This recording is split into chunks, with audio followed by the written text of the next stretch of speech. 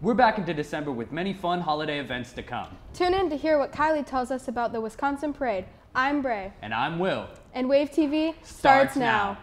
On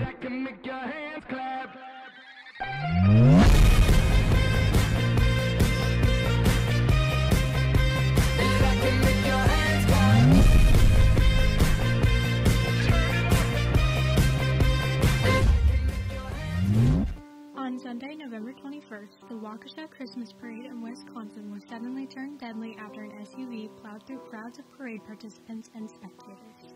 Videos were taken of the red SUV speeding down the road towards the parade, then hitting members of the local marching band and continuing into large crowds of people.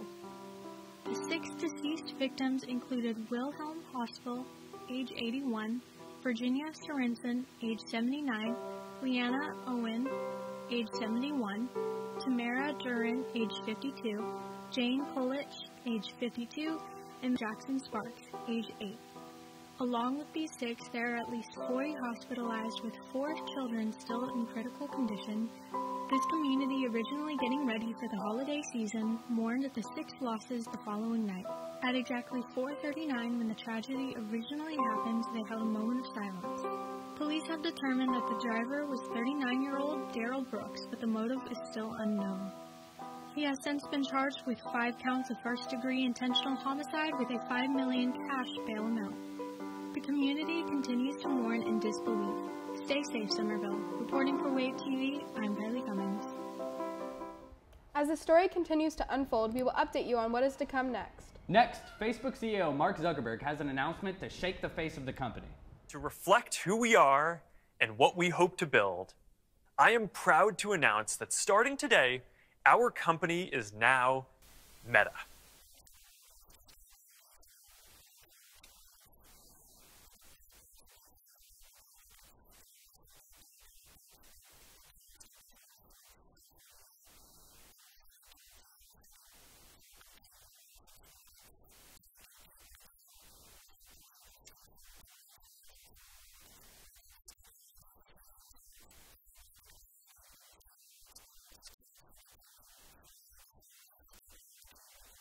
You could be at the office without the commute, you would still have that sense of presence, shared physical space, those chan-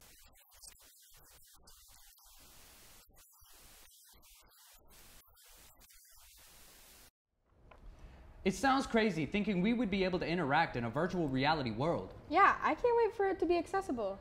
On a different subject, Bree gives us the schedule for our upcoming EOCs. It's almost time for the days we've been dreading all semester exams. With the last nine weeks of semester one coming close to an end, it's time to start preparing for exams. EOCs begin on December 9th for English 2 writing portion. On December 10th, we begin the reading part of the English 2 EOC. Then on December 13th, the U.S. History takes their EOC. Biology takes theirs on December 14th. Then third period exams begin. For more information, visit the Summerville High School website or Summerville High Instagram page.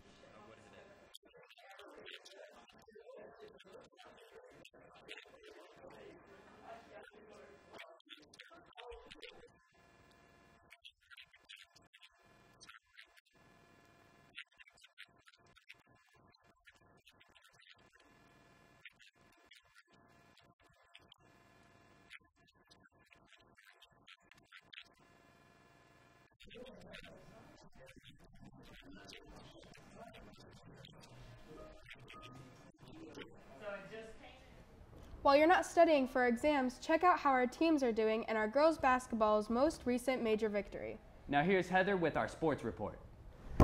Hope you're not too stuffed from Thanksgiving because Summerville sports are in full swing.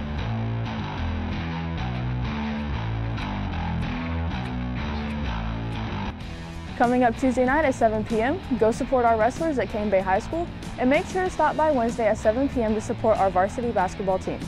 We give a huge congratulations to Coach Davis and the girls basketball team for recently claiming the title of Teresa Kendall Holiday Classic champions. The tournament was named in honor of former Green Wave volleyball and girls basketball coach Teresa Kendall. Coach Kendall is one of many coaches in the history of SC athletes to win over 500 contests in two different sports. Let's hope our teams will follow that trend and make sure to go out and support our players and coaches in the upcoming season. Reporting for Wave TV, I'm Heather Davis. Make sure to go out and support our school's athletics. We're back with Chick fil A Fridays, so if it's not clicking, go get your chicken by the Spirit Shop.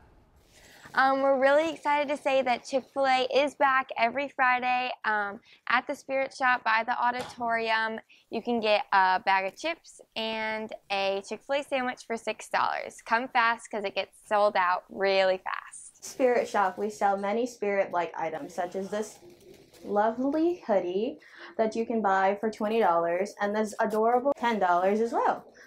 Our mugs are $3 as long along with our snackable water bottles that are also $3 and this is $2. And on Fridays, make sure to come get your Chick fil A from the Spirit Shop before it sells out.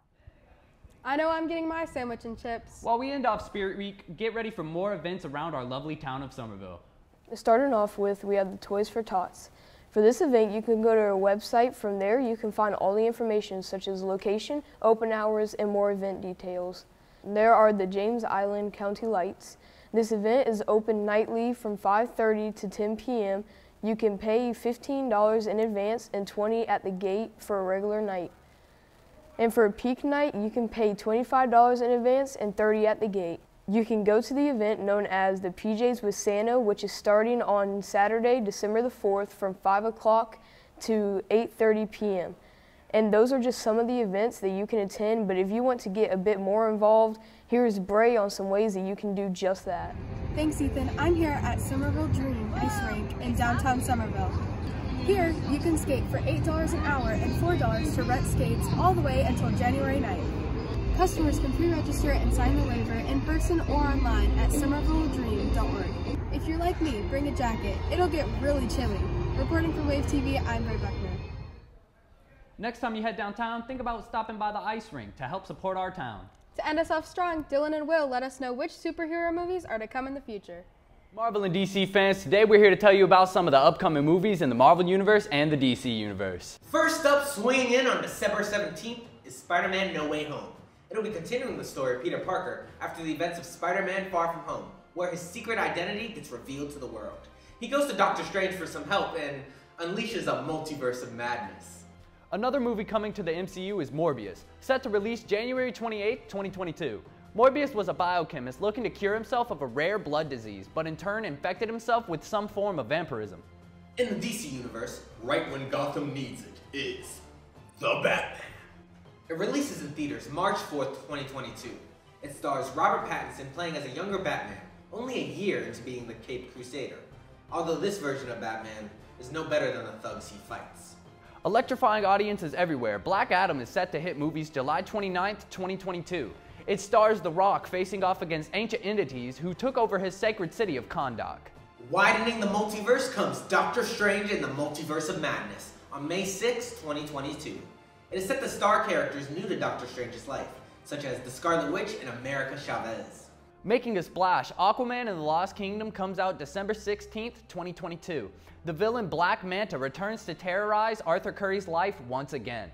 Though some of them are a distant out, I can't wait to see each and every one of them. How about you?